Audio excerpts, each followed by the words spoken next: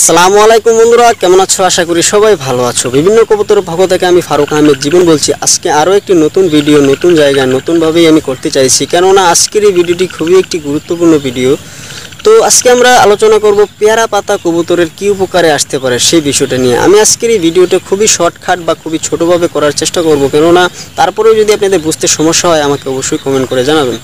তো আজকে আমরা পেয়ারা পাতা কি কাজে আসে বা কবুতরের ক্ষেত্রে কি কাজে লাগানো যায় সে বিষয়টি নিয়ে আমরা বিস্তারিত আলোচনা করব। তো যে কথাটি না বললে না হয়, আমার এই চ্যানেলে নতুন হয়ে থাকলে, আজকের এই ভিডিওতে প্রথম হয়ে থাকলে অবশ্যই চ্যানেলটিকে সাবস্ক্রাইব করবেন এবং পাশে থাকা বেল আইকনটি বাজিয়ে দিবেন। ভিডিওটি দেখার পর যদি ভালো লেগে থাকে, অবশ্যই একটি লাইক করবেন কি বন্ধুদেরকে শেয়ার করবেন। তো আপনারা দেখছেন বিভিন্ন কবুতর, আমি সাথে আছি ফারুক আহমেদ জীবন। চলুন শুরু করা যাক।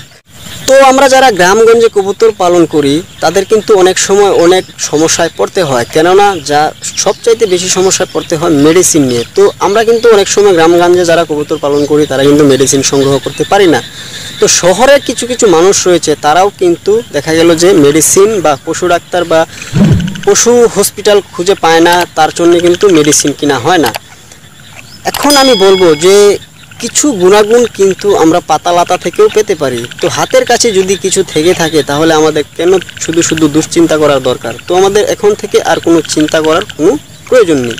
তো আমি বলব, এক্ষেত্রে কিন্তু পেয়ারা পাতাও খুবই একটি উপকৃত পাতা। তো কবুতরের ক্ষেত্রে পেয়ারা পাতা কি কাজে আসতে পারে? আমরা সকলেই কিন্তু জানি যে, পেয়ারাতে রয়েছে প্রচুর পরিমাণ ভিটামিন সি।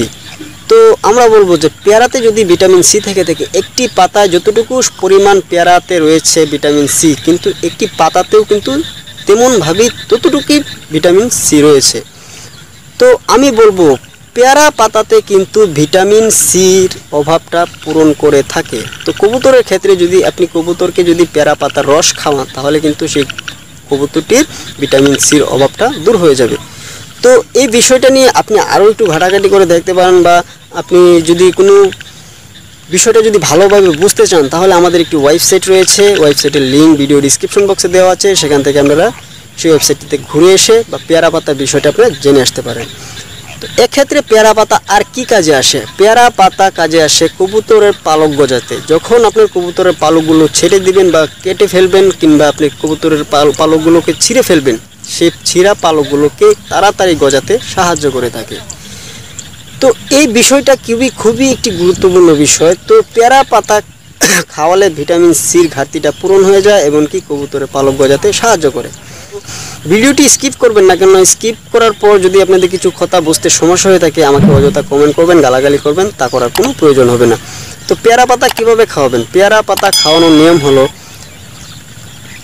তিন থেকে চারটি পাতা একসঙ্গে নিয়ে ভালো করে ছেঁচে আমি আবারও বলছি, তিন থেকে চারটি পাতা ভালো করে, ভালোভাবে ধুয়ে, ভালোভাবে ছেঁচে, কোনো একটা পাত্রে রেখে ছেঁচে, তারপরে তার রস নিয়ে চার থেকে পাঁচ মিলি রস সংগ্রহ করে, তো এক লিটার পানির সঙ্গে প্রত্যেকটি কবুতরকে আপনি খাওয়াতে পারেন।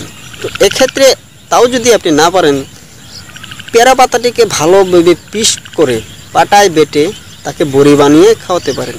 এতক্ষণ আমরা বললাম যে কীভাবে খাওয়াতে হবে, এখন আমি বলব যে পেয়ারা পাতার রস বা বড়ি কি কী নিয়মে খাওয়াতে হবে?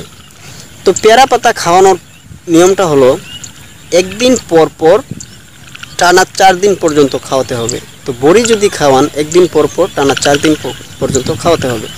তো এভাবে আপনি চার থেকে আবার আট দশ দিন পর খাওয়ালে খাওয়াতেও পারেন, না খাওয়ালে নাও খাওয়াতে পারেন। আশা করি ভিডিওটি আপনাদের কাছে বুঝতে সমস্যা হয়নি। যদি বুঝতে সমস্যা হয়ে থাকে, অবশ্যই আমাদেরকে কমেন্ট করবেন। তো আমরা ভিডিওটি ভালোভাবে বুঝিয়ে দেওয়ার চেষ্টা করব। আজকে আমরা বলব যে যে কোনো বিষয়ে আমরা আপনাদের যদি কোনো টিপস দরকার হয়ে থাকে কবুতর বিষয়ে অবশ্যই আমাদেরকে কমেন্ট করবেন। আমরা সেই বিষয়টা নিয়েই ভিডিও করার চেষ্টা করব, আপনাদেরকে বুঝিয়ে দেওয়ার চেষ্টা করব। তো বন্ধুরা, ভিডিওটি ভালো লেগে থাকলে অবশ্যই একটি লাইক করবেন, মন্তব্য কমেন্টে জানিয়ে দেবেন। তো বন্ধুদের কাছে অবশ্যই ভিডিওটি শেয়ার করবেন। আর এই চ্যানেলে নতুন হয়ে থাকলে, আর এই ভিডিওতে প্রথম হয়ে থাকলে অবশ্যই চ্যানেলটিকে সাবস্ক্রাইব করবেন। তো আজকে এখানেই শেষ করছি। পরবর্তী ভিডিও নিয়ে আবার হাজির হব। সে ভালো থাকো, সুস্থ থাকুন খুদা হাফেজ।